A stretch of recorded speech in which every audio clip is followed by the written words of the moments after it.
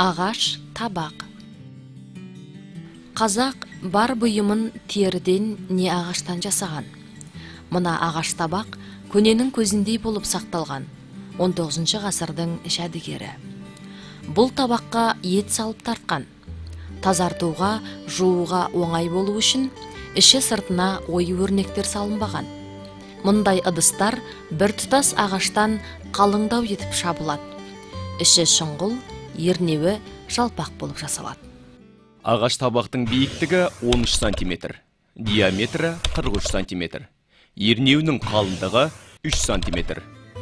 Кісі алдына тартатын табақтың көлемдері де әртүрлі болады. Үлкендерін сыйлы қадірлі қонақтарға бас табақ ретінде тартады. Мына ағаш табаққа қойдың жарты еті сияды ағаш табақты 1984 жылы бәйдібек ауданындағы шаян ауылынан этнографиялық экспедиция кезінде ауыл тұрғындарынан алынған. Бұл жәдігер оңтүстік қазақстан облыстық тарихи өлкетану музейінде сақталған.